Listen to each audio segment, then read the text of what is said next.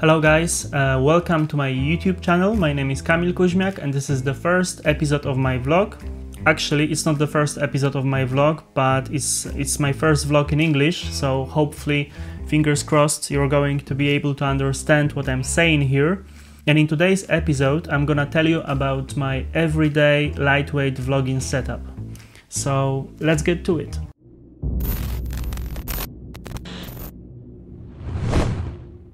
You probably ask yourself, why should I have lightweight everyday vlogging setup? If I have my DSLR or my production camera or my mirrorless camera and my gimbal and tripod why should I think about uh, lightweight vlogging setup?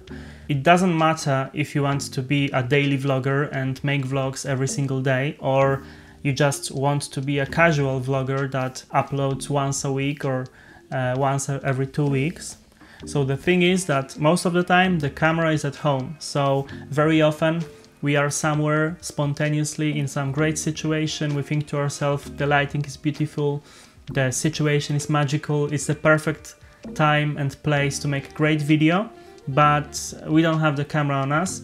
Famous photographer Chase Jarvis said that the best camera is the one that's with you, and that's actually very true. And in my case, the camera that's always on me is my phone basically. My phone is Samsung Galaxy S10. Is Samsung Galaxy S10 the best phone for vlogger to make videos? Yes and no. To be honest with you, I'm not gonna recommend you this phone. I need to confess that I was a little bit ignorant with my choice. I was only considering the camera. And the thing is that the camera itself in this phone, it's actually very decent. It has three lenses, so you have the telephoto lens, you have the wide angle lens and the ultra wide angle lens. So the lens setup is very similar like the iPhone 11 Pro. However, on the iPhone 11 Pro, you have 4K 60 frames per second on each lens.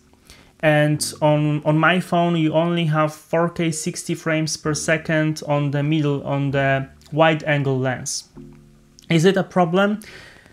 Yes and no. You can make a choice. You can shoot 4K 30 frames per second across all the lenses but if you want to shoot 60 frames per second 4K for that slow motion B-roll, you are limited to the wide angle lens. And it's it can be problematic because when you are using iPhone and you have 60 frames per second across all of the lenses, then you can just switch to 4K 60, swap between the lenses, wide angle telephoto lens, ultra wide angle lens, and you can have a, a, a, large variety of different shots. In case of this phone, it's a little bit problematic because let's imagine I'm shooting in 4K 60, I have the wide angle lens, and now I want to make an ultra wide angle shot or telephoto shot. I can't just press the button and swap the lenses. I need to go to the settings, change the frame rate from 60 to 30 fps and then I have the option to change my lenses. So let's say I, I make one or two shots with the ultra wide angle lens and then I want to continue shooting in the slow motion. I need to come back to the settings again and that's quite problematic to be honest. Another thing I didn't consider when I was buying this phone is the software, obviously, the, the OS because uh, I'm working on my MacBook, I'm working in Final Cut Pro. So if I had an iPhone, it would be much easier for me because I could start editing video in iMovie and iMovie is free and it has a lot of options. I could transfer the, the project from my iPhone to my MacBook and finish it on the Final Cut. So that would be very convenient. With the Android, I can't really do it. And also the price of video editing software is another factor because on iPhone I could have iMovie for free and have all the all the functionality I need from the mobile device to edit some quick video on the go. I could also migrate the project to the MacBook and finish it in Final Cut in more advanced software. And it's free. On the other hand, on Android, you can have Adobe Rush. And uh, the thing is that Adobe Rush is nine pounds per month. If you add the, the cost of Adobe Rush for two years, it will be like 240 pounds extra added to, to, to, the price of Samsung, then Samsung Galaxy S10 and iPhone 11 Pro is pretty much the same price if you consider the price of software in that particular case. So that's why I don't think it's the best phone for the content creator. But don't get me wrong, it's, it's actually pretty good camera. And also you have the SD card slot so you can put as much memory as, as, as you want anytime. So that's, that's a plus. but the software it's it's something that's gonna limit you.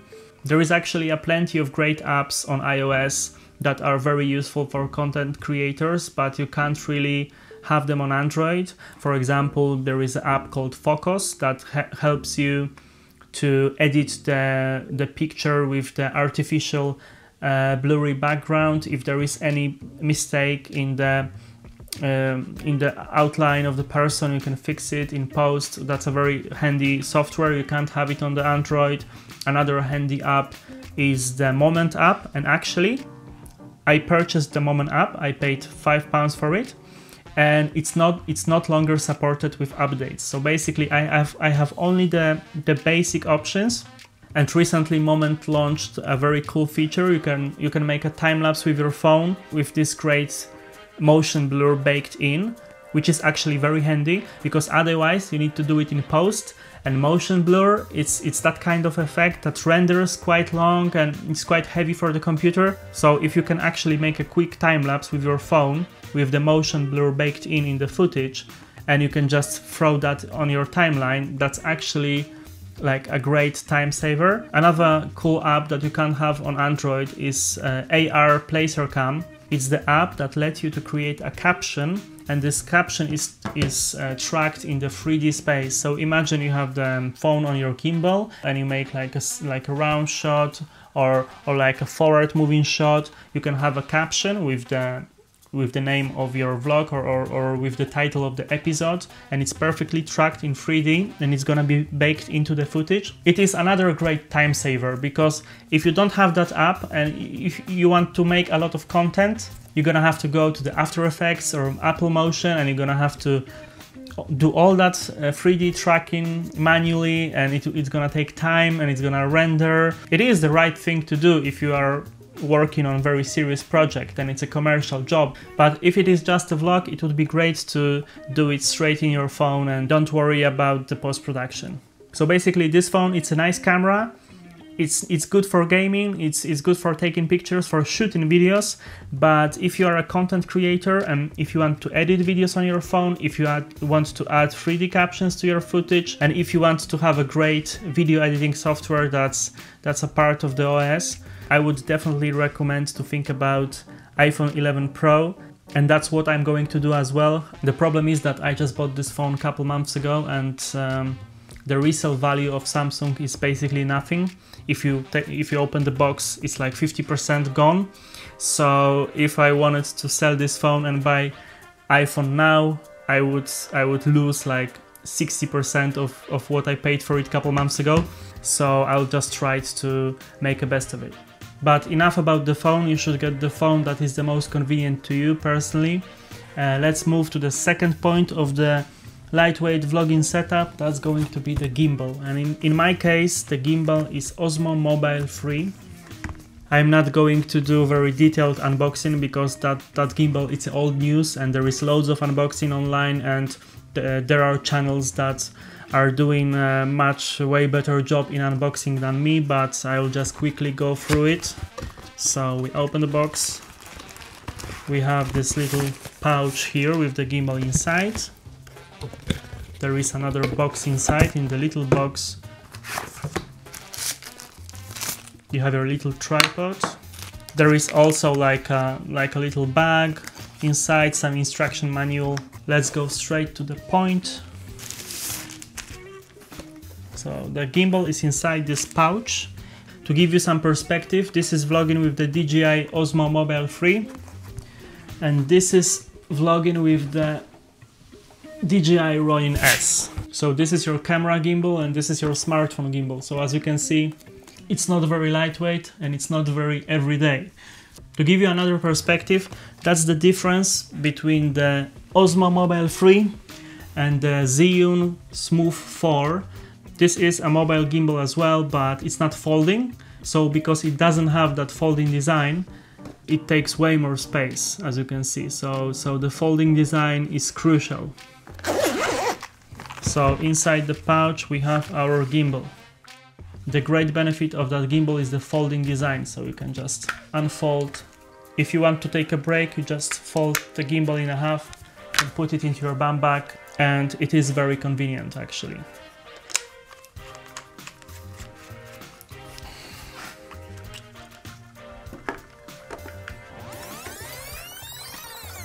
It's also quite easy to balance, all you have to do put the phone in the vertical position and move it slightly so it stays in one place like this.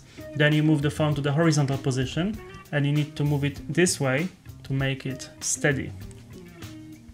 But the problem is that the ultra wide angle lens has such a wide angle of view, all the time you can see the motor here in the shot. However, there is a solution for that and it's called the counterweight. So I have this counterweight from Ulanzi. Uh, it's, it's just a simple piece of metal with a thread. You basically have three little elements. You can use as many you need. Actually, in case of the Samsung Galaxy S10, you need to use all of them. If you have the iPhone 11 Pro, you can see a little bit of the motor as well. Not, it's not as bad because the, the lens on the iPhone is a little bit further away from the center of the, uh, of the weight but still you can see a little bit of the motor but usually with the iphone it's not a problem because with the iphone if you attach the power source here the, the weight of the cable is enough to balance with the Samsung Galaxy S10 you need to use the counterweight. So there is a special thread for the counterweight right here. So we're gonna just attach the counterweight. And now you can see that it's heavy on the other side. So we're gonna just, we can just move the phone further away from the motor. So now we're not gonna see the motor in the wide angle lens. And that's it. Now the phone is perfectly balanced. As you can see, yeah, now it's perfect. So now we can turn the gimbal on, you just press this button. And now we can see another big advantage of this gimbal. So basically we can move from the vertical video to horizontal with just the press of the button.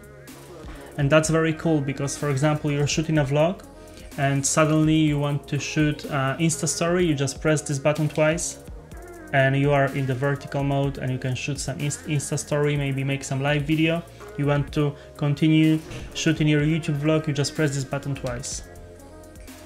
So to compare, this is the DJI Osmo Mobile 3 and this is a non-folding smartphone gimbal.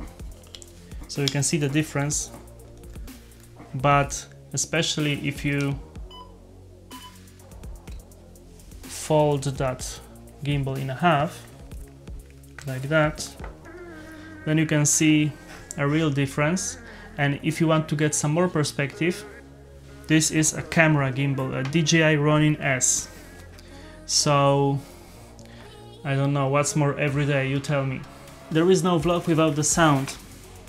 So, um, my microphone of choice is the lav microphone, It's the same lav microphone I have on me at the moment, because this microphone you can use with both your smartphone and your camera.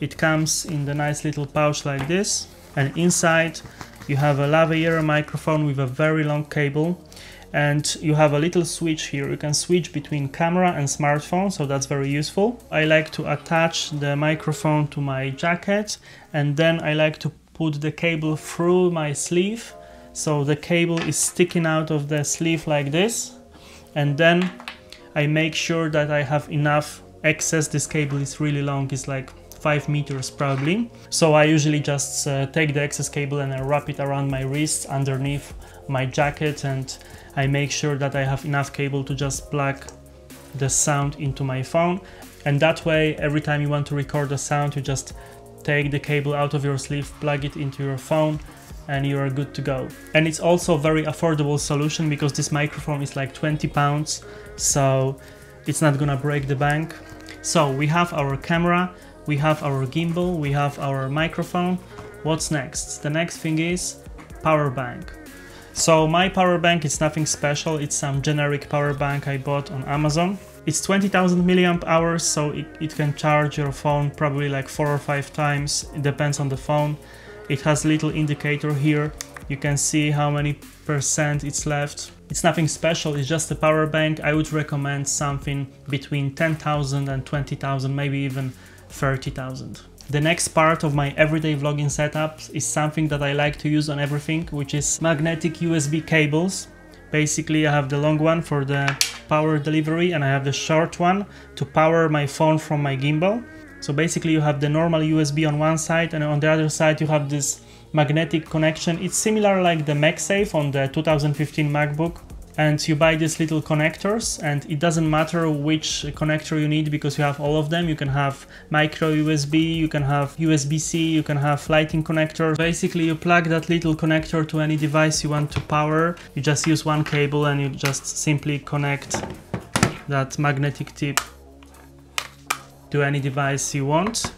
I use it for all of my devices except of the hard drives because I've noticed that uh, the magnetic cable isn't very fast for the for the data transfer so yeah just just don't use it on your drive. If you're shooting a video and your phone is dying take the short magnetic cable and then you can take the power from the gimbal and you can just plug your phone in. And now your phone is charging from the gimbal. But if your gimbal is low on battery which is unlikely to happen because it's 15 hours of battery life but let's say you forgot to charge it or maybe uh, you charge your phone a couple times and your battery is running low plug the usb into your battery bank. You can put the power bank into your pocket and you can plug the power into the gimbal like that. The thing is that you can't charge the gimbal and your phone at the same time I thought it's going to be possible, but it's not possible with Osmo Mobile 3, unfortunately. Basically, you can keep both of them connected. However, if this one is connected and this one is connected, the phone is not charging. So if your gimbal battery is full but your phone is dying and you just want the gimbal to start charging the phone, all you need to do is unplug this cable and then the gimbal will start to charge your phone. If your gimbal is running low, all you need to do is plug this cable again and basically you can vlog 48 hours straight like this. You're not going to, but you can.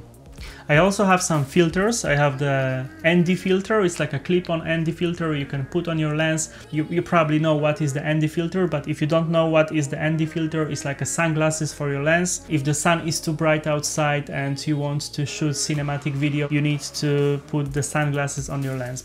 And this is the filter that you can spin and make it lighter or darker and basically you can plug that on your lens like this and you're good to go. When I shoot with the camera I always use it, but when I shoot with my phone I don't bother that much.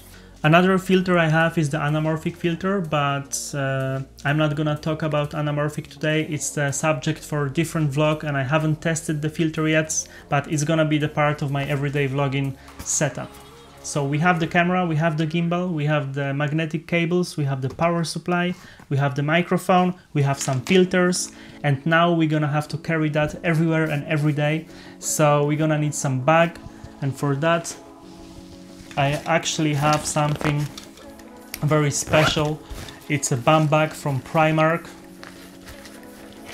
It was very expensive. I paid four pounds for it. The thing with pouches is that if you buy your pouches like that from the company that makes photography equipment like camera bags and camera backpacks, you're probably gonna pay a lot. And obviously, in the ideal world, when the budget is unlimited, we're gonna have every, everything from Nomatic or something, which is cool. But if you are on the budget, actually, you can save quite a lot of money if you don't buy your pouches from the photography companies. In that case, I have this bum bag from Primark for 4 pounds and it can fit all of the stuff you can see here. Uh, I also have I also have this toiletries bags from Primark as well. It was like 5 pounds and I use it as a pouch for all the accessories like gaff tape and ND filters and all that stuff. And I just throw it into the camera bag. I also have this wallet pouch thingy I bought from Poundland. This is pretty cool because I paid only one pound for it and I use it as a case for my hard drive. So I put my hard drive here, there is memory foam around, there is some, some pocket for the cable and yeah, and it was one pound. If I wanted to purchase that kind of bag for my hard drive in photography store, I would probably pay like 10 or 20 quid for it. If you can save this money to buy better lens or better camera or drone or gimbal, you can always, you know, save money on pouches.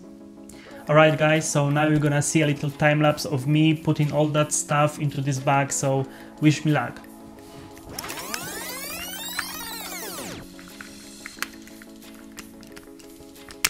I always forget how to fold this thing. So as you can see, our entire vlogging setup fits securely into this little bag. It's very lightweight, it's very small, you can carry that with you everywhere you go, every single day. You can throw it into your glove box in your car or just, you know, carry over your shoulder. And I'm not gonna lie, it's not that lightweight, you know what I mean? Like, you can feel it, you know? But yeah, you can have everything you need to make vlogs every single day of the year on you all the time. Okay, I have my everyday lightweight vlogging setup now, so I'm gonna go and shoot some b-roll for you guys, so see you in a minute.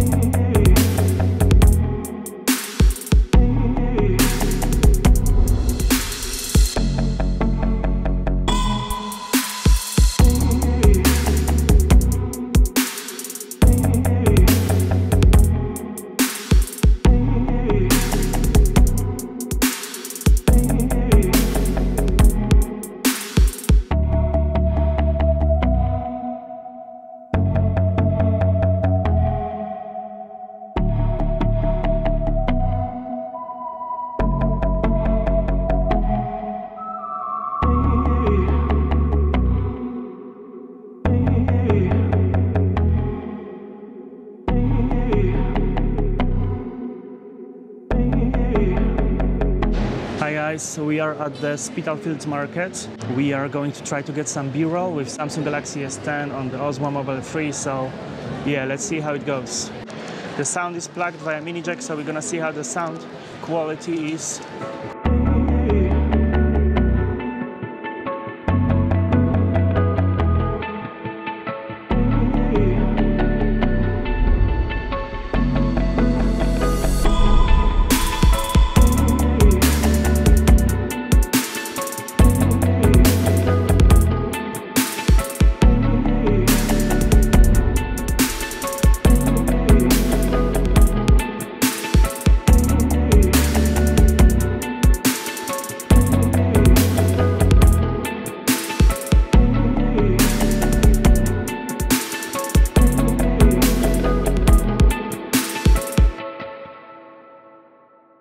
Hello guys, I'm back as you probably noticed from the crowded streets of London on my b-roll that I was I was lying and some of the shots I made couple weeks before the lockdown actually. The thing is I've shot the b-roll three months ago.